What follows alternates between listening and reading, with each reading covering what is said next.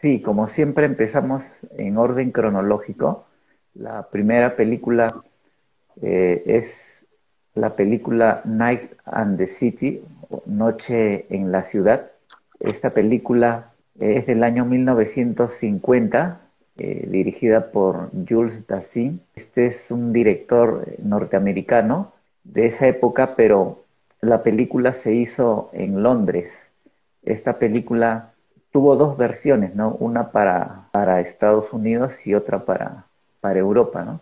Y cada versión tuvo un distinto compositor, ¿no? O sea, una música diferente. Eh, en este caso, este director eh, fue a, Londres porque estaba huyendo, ¿no? Se le acusó en, la época de la casa de brujas, eh, se le acusó de comunista y muchas personas que lo acusaban no trataban de descubrir en las películas que él había dirigido en Norteamérica alguna especie de mensaje oculto, ¿no? Que pudiera estar revelando algo que vaya en contra del, régimen norteamericano, ¿no? Entonces él huyó y esta es la primera película que hizo eh, fuera de su país, ¿no? Y es un, un film noir, ¿no? Como se le suele conocer, eh, donde se ve a un personaje eh, interpretado por Richard Whitmark, que es una especie de estafador, ¿no? Un estafador nato que eh, desde el inicio, desde la primera escena, se le ve ya huyendo, ¿no? De, alguna fechoría que ha, que ha realizado y conocemos el comportamiento, ¿no? Que va teniendo, ¿no? De, de rebuscar cosas que no le pertenecen, ¿no? Como, porque va a la casa de, su novia, ¿no? Y, empieza, empiezan a tener un diálogo y ahí es donde empezamos a conocer eh, el tipo de, personaje con el cual nos vamos a ir topando.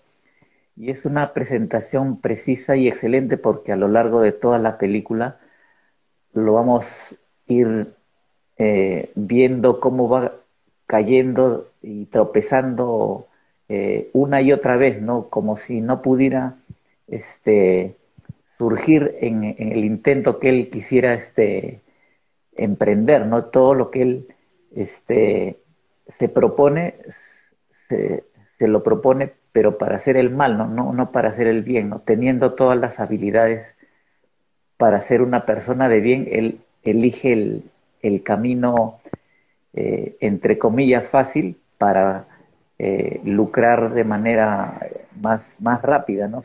según él, ¿no? Y es eh, a través de estas eh, decisiones que él va tomando que vemos cómo va engañando a una serie de personajes y no solo él va engañando, ¿no? sino a él también lo engañan y, se burlan de él en, en ciertos momentos, ¿no?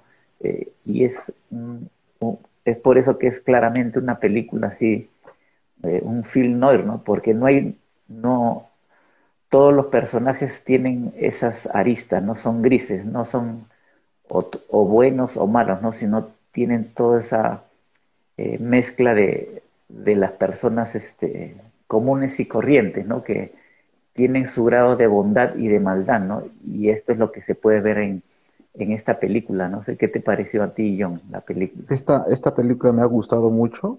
Y sí, tal como tú lo dices, esta película en blanco y negro precisamente, de una buena fotografía, eh, creo que sienta las bases de, este cine, ¿no? De, personajes fracasados, que, en el primer fotograma vemos a un personaje huyendo, pero un personaje este, con orgullo, ¿no? Que cuando ve que su clavel se cae en la pista, se detiene a pesar de que alguien lo persigue, se detiene recoge su clavel, se lo coloca y sigue corriendo, ¿no? Un personaje que ante todo no pierde esa, esa dignidad, ese orgullo por su apariencia, por el buen vestir.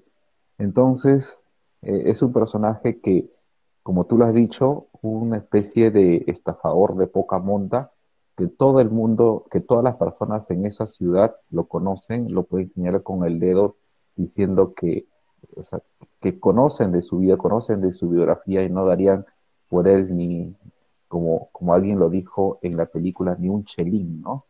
no darían por él ni un chelín. Entonces, eh, ahí se configura, eh, nos, vamos adentrando a cómo es el, el, modus vivendi de este personaje. Un personaje una, con una solvencia para hablar, con una eh, facilidad para convencer a las personas que si es que se lo propone, o si, digamos, yo estaba pensando que si es que él estuviera viviendo en nuestra sociedad de ahora, sería un buen, no sé, vendedor, ¿no? Un, agente de ventas, se este, desempeñaría bien en ese rubro eh, ahora. Mm. Eh, bueno, en la historia este personaje al cual todo le da mal, al parecer eh, por, un, por una escucha, por un, un momento en el por, haber estado en el momento adecuado, se entera de una situación ventajosa del cual él quiere formar parte, pero para ello necesita capital. Y es allí donde recurre a todos, a, todas las estrategias que él tiene para agenciarse de ese dinero, ¿no? Y es ahí precisamente que su pasado le juega en contra. Su pasado le dice que eh, le hace ver a todas las personas a los cuales pide dinero que no le quieren apoyar simplemente por esa, por esa biografía que él tiene, por ese pasado que él tiene, a pesar de que yo viendo la película vi que si es que se encaminaba tenía un buen plan. Y es ahí otra de las circunstancias que también son característicos de este tipo de filmes, que no es tanto eh, la mala, la, el mal accionar de estos personajes, sino las circunstancias, el azar, eh, los giros del destino, los que, los que le joden eh, el buen plan que pueden tener estos personajes. Y una de esas cosas es lo que le sucede a este tipo, ¿no? Que ya teniendo el dinero, ya pudiendo agenciarse del capital y tener o, poder organizar la, esta pelea, eh, ocurre un altercado entre dos pugilistas que origina el desastre, ¿no? que origina que toda la pirámide que estaba creando vuelva a foja cero, se, se derrumbe. Entonces, eh, esa, es la, esa es otra de las características de esta, esta película, que a veces uno, que estos personajes no pueden jugar contra su destino, es como una especie de, de tragedia griega, ¿no? Que todo ya está escrito por los dioses, de alguna forma. Es una buena película, no quisiera eh, comentar la parte final, porque en este tipo de películas, así como las películas de Alfred Hitchcock, eh, es bueno mejor dejar, dejar el final para que el público lo disfrute. Leo. Así es, es un, final donde de alguna u otra manera llega a redimirse, ¿no? Hay una cierta redención y, y si bien este personaje a lo largo de la película lo hemos visto tropezar, tropezar y tropezar y caer, digamos que es un final que eh, le da cierta dignidad ¿no? al, al, personaje, ¿no? Y, y, no es no es este machacarlo por machacarlo, sino que el director le ha dado cierto, cierta dignidad para poder eh, quedar de alguna manera como un, una persona que pudo ser una, una persona buena, ¿no? Así es. Y bueno, lo dejamos ahí para, para no, no, arruinarles el final, eh, que es muy bueno y, se la recomendamos, ¿no? Para que la puedan eh, ver. Es, es, una gran película. Eh, yo primera vez que la he visto. Yo también. Y me gustó bastante y